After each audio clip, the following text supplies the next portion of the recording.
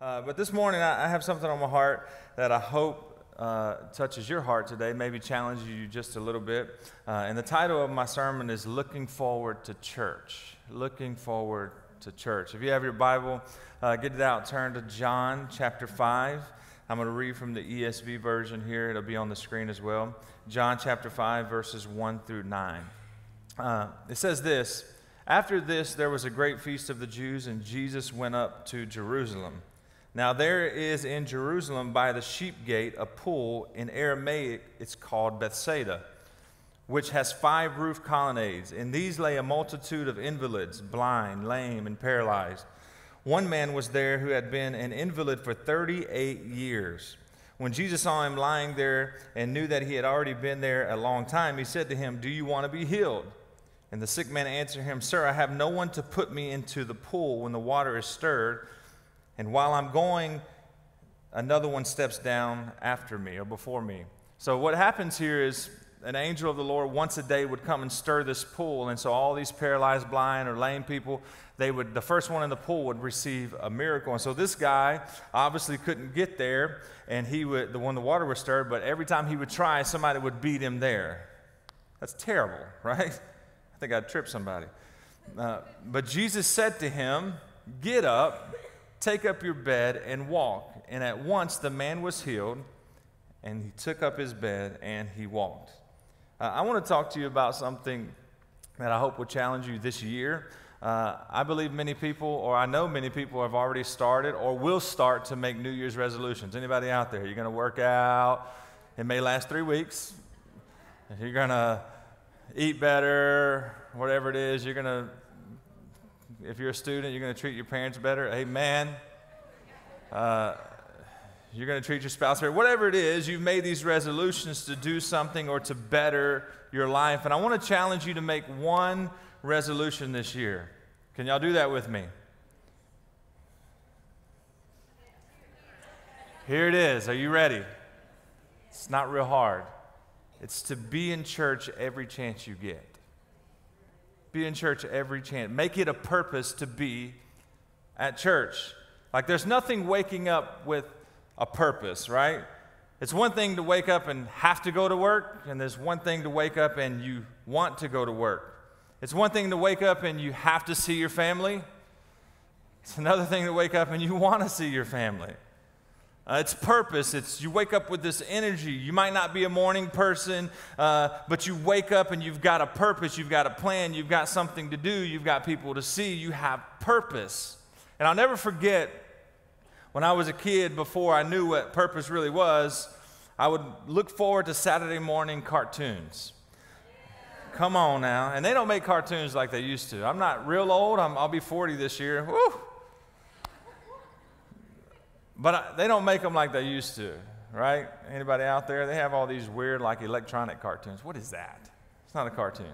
But I remember waking up and watching cartoons, and I would watch the whole uh, hour or two of whatever it was with cartoons and eating cereal, just eating bowls and bowls of cereal.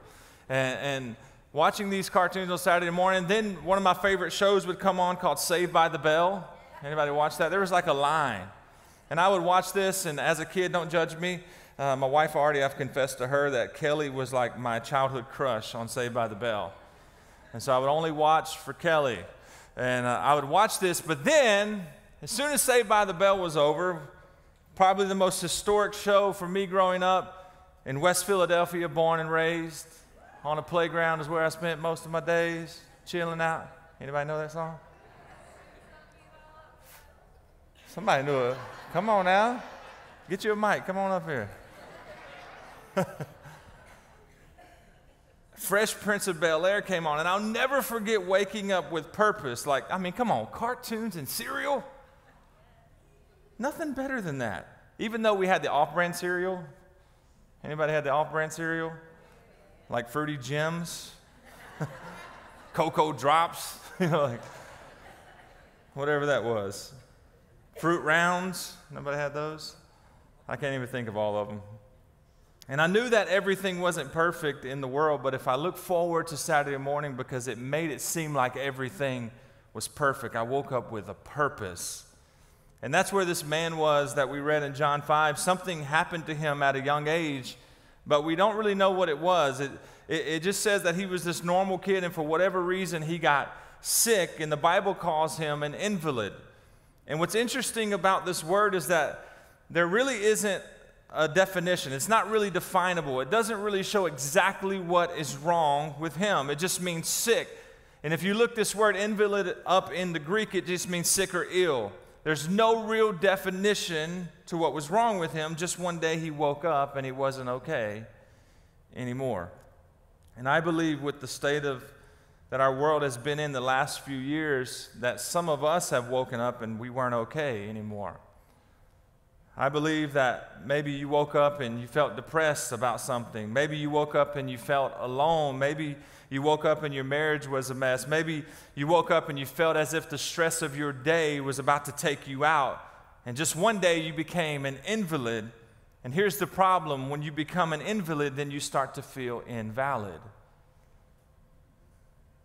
You have that season. Maybe you're out there and you're like, what do I do? What, what do I do? And this man had lost something. He didn't know what was wrong with him. And if we were honest in our lives, if we asked around the room and took a poll past the mic, which would be really crazy, and we asked the question, What's wrong? I think a lot of us would say, I don't know. I don't know. You ever been there in your life? You were happy, but now you feel so depressed. What's wrong? You used to love to come to church and worship, but now all you do is kind of sit there. What's wrong? I don't know. I was doing everything right. I, I was trusting God. I, I didn't do anything wrong. I was living for God, and some reason you kind of fell apart. I don't know why I feel this way. I don't, I don't know why I'm going through what I'm going through. I really can't define it. And that's exactly where this young man is. And I feel like this morning, as we go into a new year, there are many people in this I don't know season. You're sort of weary. You've sort of lost hope for a, a new start. It's just another day. Maybe you won't even make any resolutions this year because you've lost hope. But I want to challenge you with this. This man is in this same place, but he decides to go to a place called Bethsaida. If you look up Bethsaida, Bethsaida actually means house of mercy. So, what do I do when I'm in this I don't know what to do season, you go to the house of mercy.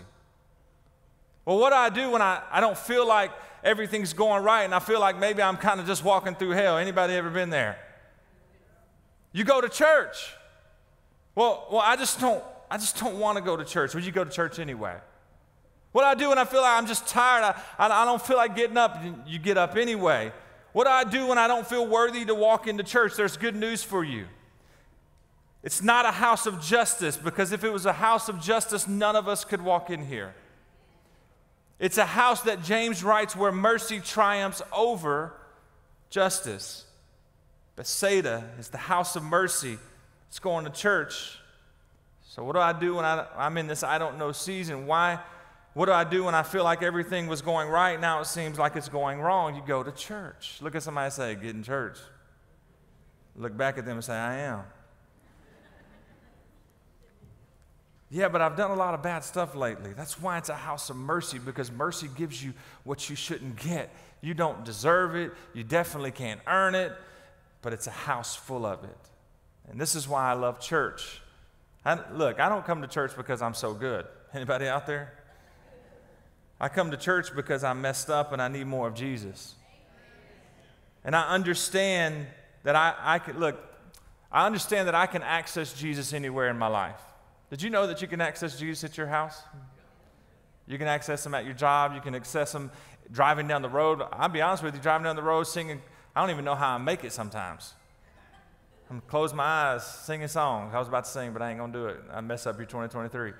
But driving down the road, and, and, you can access Jesus anywhere. I understand that, but there's something about coming to the house of God and setting time aside to worship Him and to hear His word and to be around people that want to worship and hear His word too. Look, I'm a church addict. I'm a, I admit it.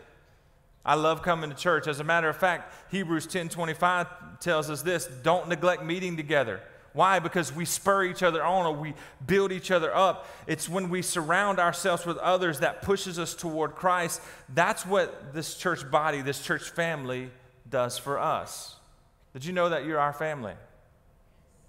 Well, you don't know me. Well, I need to get to know you, your family. Something about coming to church, or something about putting time aside and being in the house of God. And here's what I love about this story it says this man, he goes to the house of mercy, he goes to Bethsaida, and there were a great number. There were a great number. There were a lot of people there. Well, it just feels like I'm going through it. Well, welcome to the club because there's a great number. There's a great number. I feel all alone. Actually, in church, our family, you're not all alone. There's a great number. I feel like I messed, too mu- too, messed up too much to come here. It's okay because there's a great number. There's a great number. Look around. There's a great number. Sometimes, look, I just come to church and say, man, they're really messed up. Yes, I'm normal. There's nothing, look, there's nothing like talking about that thing in your life that's so messed up that you're sure you're going down, you're about to go to hell. Like I messed up so bad. And then somebody comes up and like, me too. And you're like, high five, yes, I can make it. And it's not that we're celebrating our dysfunction, but it's good to know that we can look forward to church and there are other people that have gone through things too, and they can help me get through whatever issues of life that I face. That's what we're here for. Anybody out there this morning? And so there were a great number of people around this man. They were disabled, they were blind, they were paralyzed. And I feel like some of us have been blinded. Maybe you didn't lose your eyesight, Maybe you feel a little deaf. You used to come to church and you heard the word and you, and you heard the worship, and I mean, everything felt so electric and everything felt so powerful, and you didn't want it to end. Have you ever been there? You didn't want the service to end. You felt so much rest. You felt the Holy Spirit around you. Uh, but now you, you feel blinded and you feel deaf, and you just kind of come to check a box. You could pull your toes back a little bit. used to look forward to Sunday. You couldn't wait to get back to church. You couldn't wait to get to church. You couldn't wait to get to the house of mercy. You become like this man, and maybe you feel lame. You were running towards your destiny, you were running towards your calling, and something came and took your legs right out from under you. I didn't think I would fall. I didn't think I would do that. I didn't think I would choose that path. I didn't think I would get into this rut, but there were a great number there were a great number, and this is why we need an amazing church like we have. Amen? This is why we need to invite people to church. This is why we need to come to church because I believe there's a great number of people in our communities that desperately need a house of mercy, that desperately need a place to come where they can see other people that struggle too, but the power of God touches their life and can work through each one of you to touch their life. And where this man was, it was a place of dysfunctional people but miracles were taking place there. Every day, a miracle was taking place. And for every dysfunction I believe that you have, there's a miracle with your name on it. I don't know about you, I, I, I need a miracle in my life. You ever been in a place where you need a miracle? Well, how do I receive my miracle? You stay where miracles are happening. You get around people where miracles are happening. You look forward to coming to church. You wake up on Sunday morning with a purpose and a joy, knowing that you get to go to church. It's a privilege for you, it's purpose for you. You get in the house of mercy. And when you get into church, when you get into the house of God, you can find strength for your life, you can find rest, you can find hope, and it restores your soul. See, we want this place to be a place that no matter where you've been or where, what you've done or what you've been through, that anyone can come and they can feel love. They can feel the presence of God. I'm going to tell you right now, there's nothing better than feeling the presence of God around your life. There's nothing better than feeling the Holy Spirit touch your soul. We want this place to be a place for everyone that they can feel the presence of God, that they could be surrounded by a great number of people, that they could feel love, that they could feel purpose, that they could reignite a passion inside of them to be in the house of God, to have an experience and to receive a miracle that they're looking for. See, we've got to rejoice for the church. We've got to be excited for the church. We've got to be thankful for the church because it's a place full of dysfunctional people that Jesus makes function. And when we come together knowing that we aren't the only one dealing with the weakness, that we aren't the only one that feels alone. We realize that we can look forward to coming to church just like this man in the story. And then Jesus walks up and he says, Take up your bed and walk. And I believe that miracles can happen anywhere. But I believe that when we come together and we worship, that worship is the breeding ground for miracles. That when we begin to exalt and lift up the name of Jesus, that we don't have to have people come up here and, and, and do crazy stuff to you. And I know George makes jokes about pulling out snakes. That'd be crazy. Weird. I wouldn't be here. But neither would you. Some of you might be. Shane probably would, but I wouldn't be. I love you. He's sweating right now. He's going to punch me later, so pray for me. But I believe this is a place where when you begin to worship and you allow the power of the Holy Spirit to touch lives, that miracles can take place right where you're sitting. That the Holy Spirit can infiltrate any soul, any heart, any life, and their life can be changed in just a moment. And we rejoice for the church. I know this isn't some crazy deep sermon, but my challenging, my challenging spirit is challenging you to be in church every moment you get. Look, we love the online. Everybody, anybody in here ever watch online? Yeah. Online is great. It's a great tool. It's a great opportunity for us to reach so many people all across this uh, world. And, and, and I believe that it's, it's, it's great. That's all I can say about it. But what it's made for are people that can't get here physically or they live far off. You're going to hate me for this, but I love you. It's not made for those that want to be lazy. Ah. Pastor George will be back next week. I may be on probation for a month. Seriously. There's no exchange for sitting together in church service, experiencing the power of God in person. It's almost like going and watching a commercial on going on a cruise. Anybody ever been on a cruise? I've talked about this about three times in sermons. I'm, somebody needs to buy me a cruise. Come on, Jesus. I'm just kidding. Don't do it. It's like watching co- a commercial and it's dreamy and it's like, oh my God, that'd be amazing. That'd be fun. But then there's a difference when you actually book one and you pack and you get on that ship and you experience it firsthand. And that's how church is. You could watch online, and I, I, believe God can work through our online service just like He can work here, but there's something different about getting up, getting dressed, getting your kids up, even though you're like, ah, and you need the power of God now, or else they're going to see something else. They're going to meet Jesus real quick. My dad told me one time, we were, when I was little, I'm squirreling, is that okay?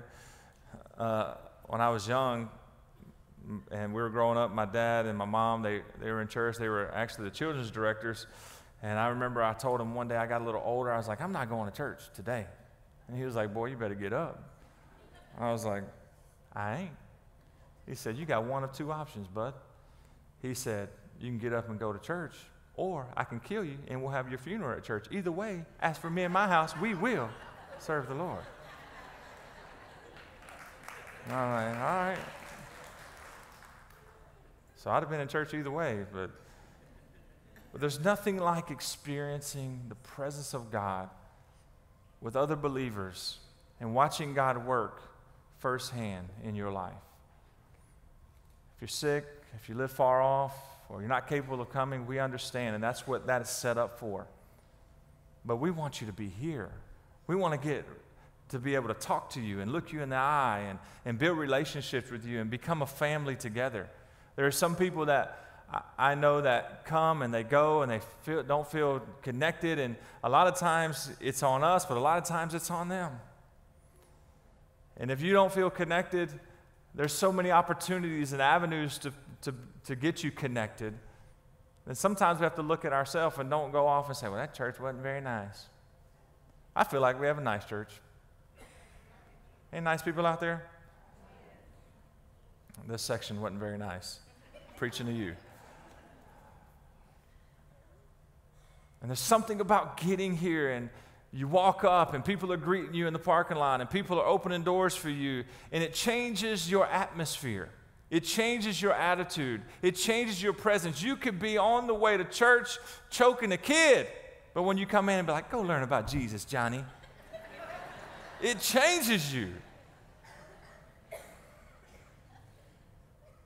It sets the tone for your day, it sets the tone for your week. There's something about coming to the house of mercy. There's something about coming to the house of God and experiencing who He is firsthand. It's what we're made to do. The Bible, I talked about it in Hebrews, tells us don't neglect meeting with each other. It actually says, like some people do. It's talking about the religious people. Don't get so religious that you think, well, I don't need church. You know what frustrates me the most? When people say, I have a relationship with God, I don't need to go to church. I chuckle at that. Can you have a relationship with God? Does church save you? No. But I believe church can keep you saved. Because you build different relationships. You surround yourself with people that want the same thing as you. You get fed the Word of God. You get this passion. When the Word of God hits you, I believe when the Word of God hits your soul and hits your heart, it causes this passion to arise that you want more, which causes you to go home and read your Bible. Don't raise your hand. How many people would say in your own heart that sometimes you're like, man, I want to know more about that, and you go home and read your Bible? I said, don't raise your hand because I was afraid only three people would. But you should. It should cause this passion to rise up in you that you go home and build this relationship with God for yourself. Church is important for your life. Church does not save you. Jesus is the only one that saves. It's like you're not a taco if you go to Taco Bell.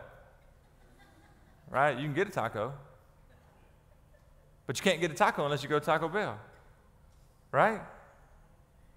There's a reason the church was set up for believers so that you could worship Him and you set time aside on purpose and you wake up in the morning, you look forward to church because you know it's a refreshing for your spirit, it's a refreshing for your soul. And you get to build these relationships that last forever that can carry you through your life. And if you're not doing that, I encourage you to do that. Find someone that you can relate with. Find someone that you can build a relationship with. Find someone that you could talk about the goodness of God with. Find someone that you can pray with. Find someone that, that you can believe with. Find someone that you can do life with that's sitting on the pews that are next to you today. Because the church is set up to be a family, it's the body of Christ, and we need every single person. You're all important, and we want you to be here so that God can change your life little by little by little by little, and iron sharpens iron, and iron sharpens iron, and you build these relationships. And before you know it, we don't have two services or three services or four services. George is going to punch me for this, but we're going to build a new building. Amen. I said it. I'm probably getting fired. But it's a place full of dysfunctional people that Jesus makes function. You don't have to be alone in your dysfunction because this is a place for the weak. And we want this place to not just be a crutch. Look, I need way more than a crutch. This is a place or a stretcher for the dead in spirit. This is a place where people that they can't live without, they're dead without Jesus. And they come and they can experience the power of God. There are people that walk in here every week that have never walked into a church before, and lives are being changed. Do you believe that? And I would love nothing more because I know that, I don't want to bring up the past, but through COVID years and, and through the, the tough economy and all that, and, and people are struggling and they've got out of this rhythm, they've got out of this desire, their, their purpose for church has been lost. And things have become a crutch to them. Some people have come just to, hey, this is what we do, we got to go to church, but it's more than that. And my hope and my passion is that you would all feel this desire to be here, that it would be electric to you again, that when you walked in, you would feel the Holy Spirit, that it's more than just a cool band singing great songs and, and their talent is off the level. It's more than that. It's more than just Pastor George preaching a great sermon. It's more than all that. it's that you get to come and you get to set time aside with other people and worship the King of Kings. On purpose, with a purpose. And my prayer for you is that it's exciting for you again. Anybody excited for church?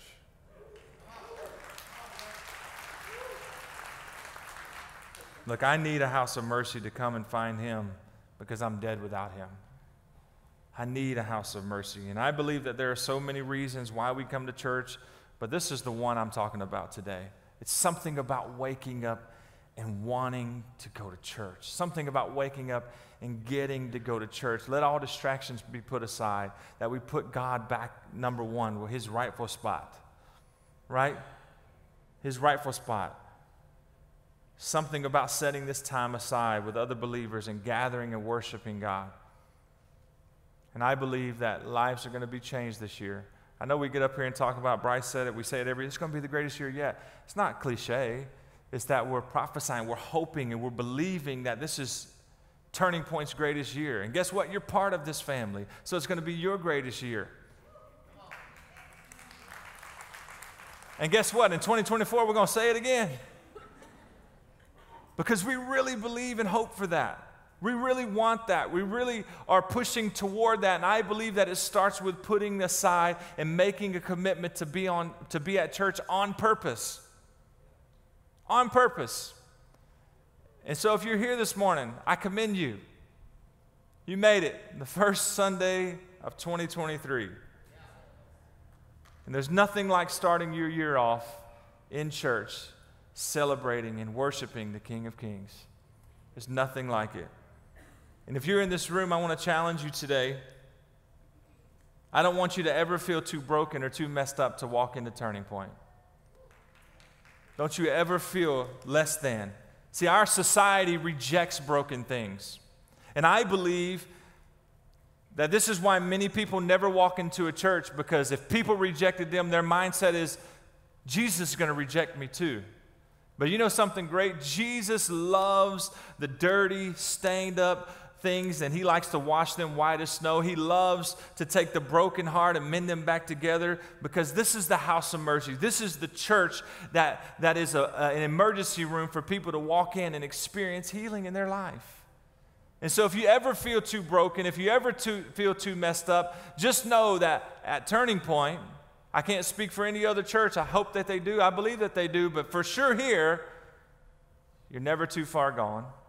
You're never too messed up that we want you here, and we don't want you here to be like, oh, we have a thousand people. No, we want you here so that God can change your life at the very beginning of your week, and your day, and your week, and your year could be set on the house of God.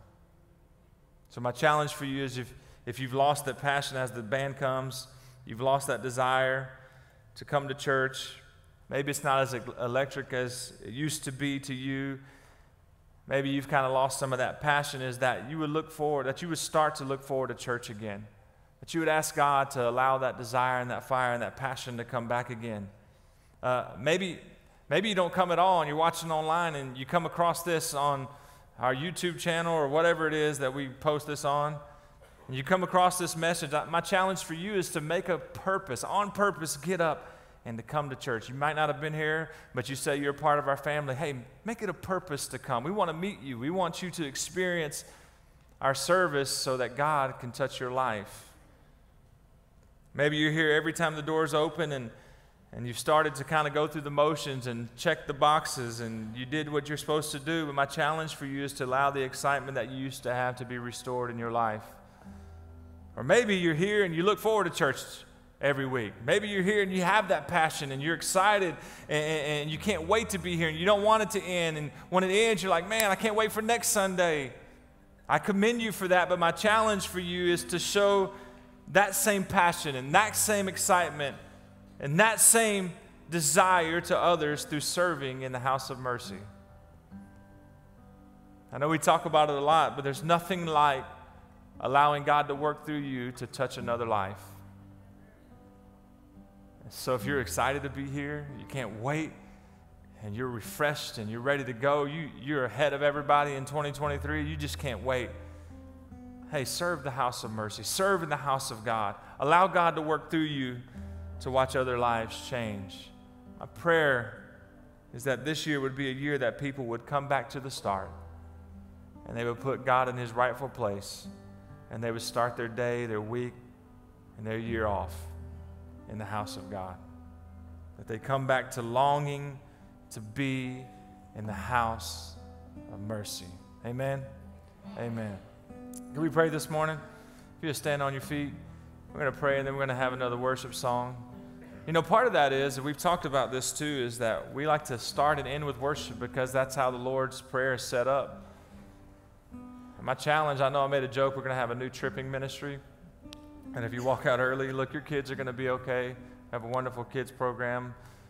But we want you to experience and end with lifting the name of Jesus up and worshiping. So I, I challenge you this year hey, unless it's an emergency or you really got to go, hey, try to stay and end this thing with worship. It's not so that our band can practice another song, but it's for you that you get the opportunity to end the service. You just heard the word, it's landed on your heart is open from worship earlier. You heard the word, now seal it with some worship. Can y'all do that? All right, let's pray. Father, I thank you so much for the opportunity just to be in your house. Lord, we just thank you for the church. We thank you for establishing the church for us believers and for those that don't believe that can come in and experience who you are and they can receive salvation, they can receive a miracle, a healing, whatever it is that they need. Father, I pray that this year, 2023, that we would come back to the beginning, Lord God, that we would put you first, that we would have this passion and desire to be in your house every chance we get, that we couldn't wait for the doors to open to come in and to worship you. Lord, I ask that you would empower every single person in here, that you would challenge them in their spirit to set time aside for you, that they would start their week off at church, that they would start their week off building relationships with people in this church. Lord God, and your power would show up in their lives throughout the rest of the week. Lord, I just pray for every single person in this room today that their 2023 would be the best year that they've ever had, Lord God. Whatever it is that they're seeking, whatever it is that they're pressing forward to, whatever their desires of their heart is, Father, I pray that you would begin to, to, to lead them and to guide them into those areas. Father, I pray that they would receive more uh, of your spirit, that they receive more of your power, that they would get closer to you than they've ever been. And I know that when they do that, everything else will fall into place according to your will. Father, I just pray that this year for Turning Point, would be our greatest year, that we would see more lives come to know you. Lord, not for our glory, but for your glory. That more people would receive you as their Savior than we've ever seen before. More baptisms would take place than we've ever seen before. Lord God, so that lives could change, so that revival could truly take place in our communities. Father, thank you for the house of mercy. Thank you for the church. In the name of Jesus, amen.